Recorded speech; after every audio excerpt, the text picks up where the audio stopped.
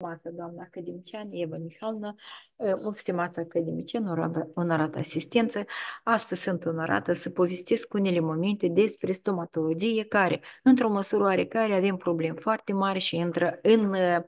uh, asistența generală, în sănătatea generală a copilului, dar sunt unele momente de organizare care ne-au făcut așa ca să fim într-un sistem privat și mai puțin auzit și mai puțin înțeles, dar totodată astăzi vreau să spun unele momente, unele repere în stomatologie pediatrică care ne face să menținem sănătatea a organismului întreg. Și deci stomatologia pediatrică, ea a existat, există și există în cadrul uh, chirurgiei pediatrice, în cadrul pediatriei, deoarece sunt probleme și sunt probleme destul de uh, mari. Uh, ce înseamnă stomatologie pediatrică este ceea care începe o evidență în regiunea uh,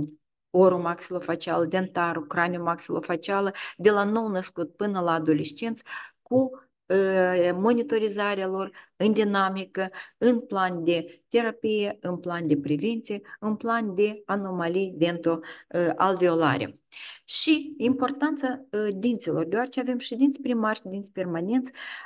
toată vremea auzim unele foarte frecvent căci dentiția de lapte, dinții de lapte nu sunt atât de importanți, îi lăsăm pe ăștia, ajung dinții permanent. Totodată, dentiția primară este cea mai importantă în uh, sistemul de sănătate a copilului. Și aici vorbim despre uh, sistemul craniofacial care Uh,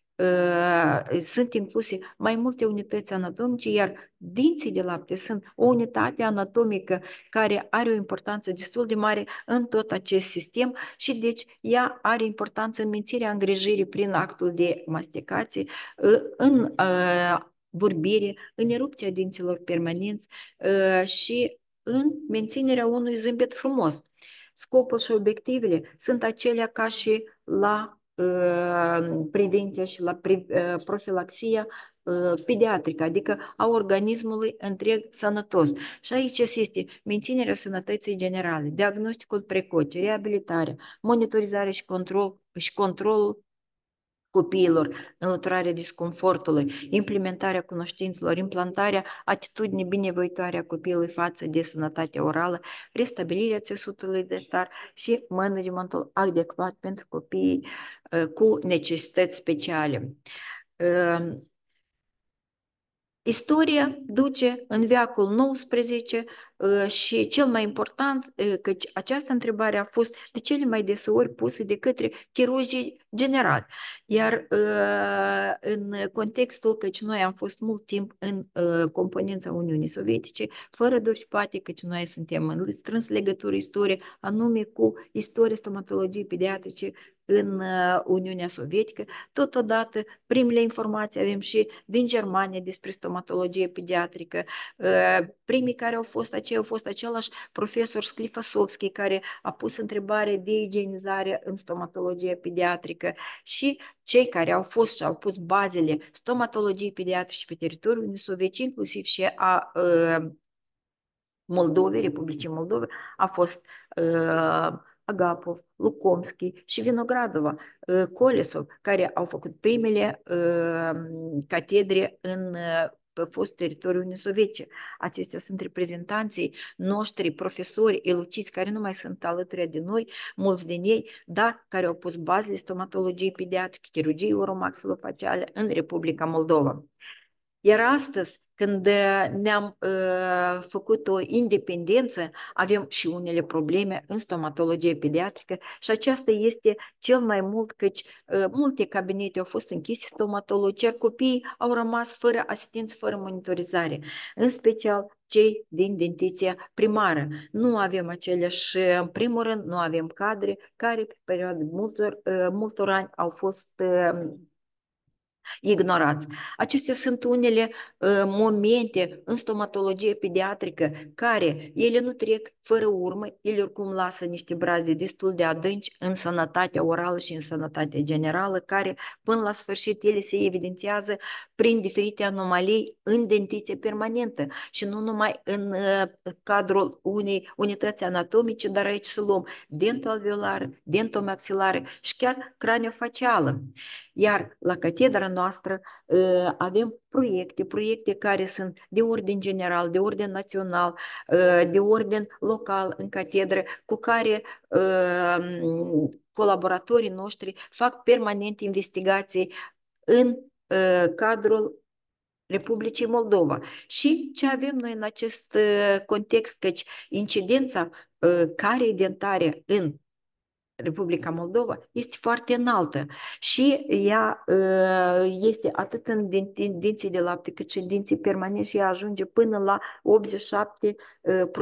87% cazuri. Aici este o diagramă care ne spune despre cum evoluează și cât de frecvent și unele momente anume de îngrijirea părinților. Și aici noi vedem că din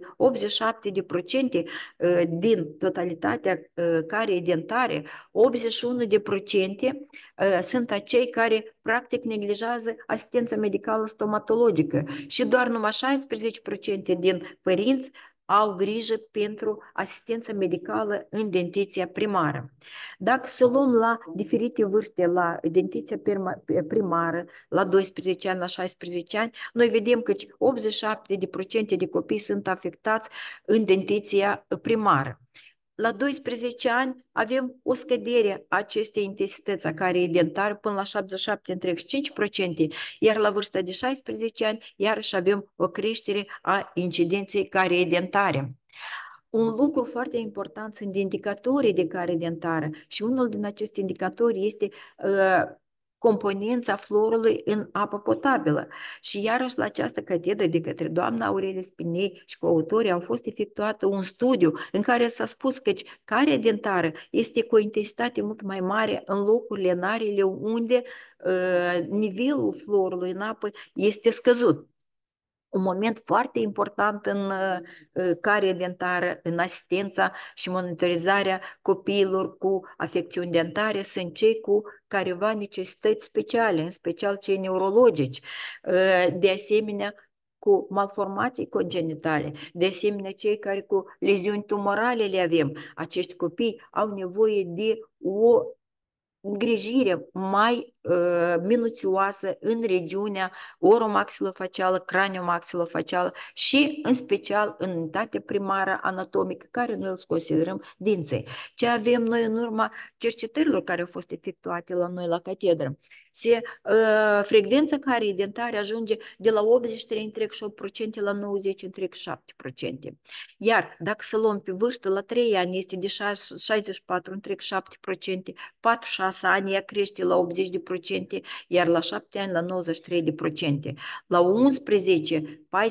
ani, copiii cu necesități speciale ajung cu o intensitate a care dentară până la 100 de procente. Toate acestea se răsfrâng asupra dezvoltării sistemului dentomaxilar, dentoalveolar și craniofacial. Și atunci noi avem că acești copii care cu anomalii sau cu defecte, cu boli a sistemului dentar, ele ajung la 50, la 55 până la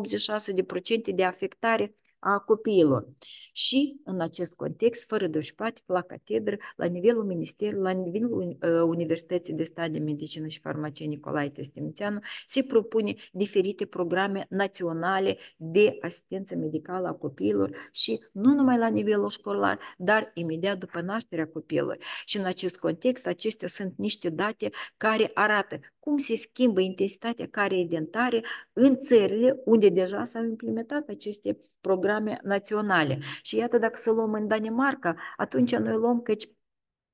indicele acesta care confirmă intensitatea care e dentară în Danemarca, dacă spunem că în 2000 1975 a fost de 5 întreg și după intensitatea care e dentară în 1985 a ajuns la 2 întreg și 1, iar în 2009 el a ajuns la 0,64. Și iată așa, de acele, aceleași rezultate sunt în Germania, aceleași rezultate sunt în Anglia. Și vreau să menționez că în Republica Moldova programul acesta național, el abia se implementează acum ea și fără doșpate, că și noi avem o intensitate a carei dentare destul de mare, 4, 4 întreg și 5 uh, unități. Și, ca urmare a prevenției complexe, 70% dintre copii de până la 5 ani, denta, la 5 ani nu au carie dentară în țările în care s-au produs aceste sau s-au implementat aceste uh, programe. Ca concluzie, de acum noi putem spune că ce Republica Moldova, uh, având în vedere că avem un nivel sporit al frecvenței care dentare și a intensității afecțiunilor stomatologice care depășește 90 de procente, acordarea asistenței stomatologice la un nivel insuficient, neglijarea măsurilor preventive, fapt urmat de creșterea numărului de complicații, având riscurile locale, regionale și generale de agravarea evoluției maladiei somatice, având un impact negativ asupra calității vieții copiilor. Și pentru îmbunătățirea sănătății orale la copii în țara noastră este nevoie de a întreprinde activități, activități de monitorizarea acestor copii. Ceea ce noi recomandăm și ceea ce noi vrem să facem acum ea, acești copii să fie monitorizați de la nașterea copilului și să studiem nu numai cantitate, dar și calitate. Chiar aceeași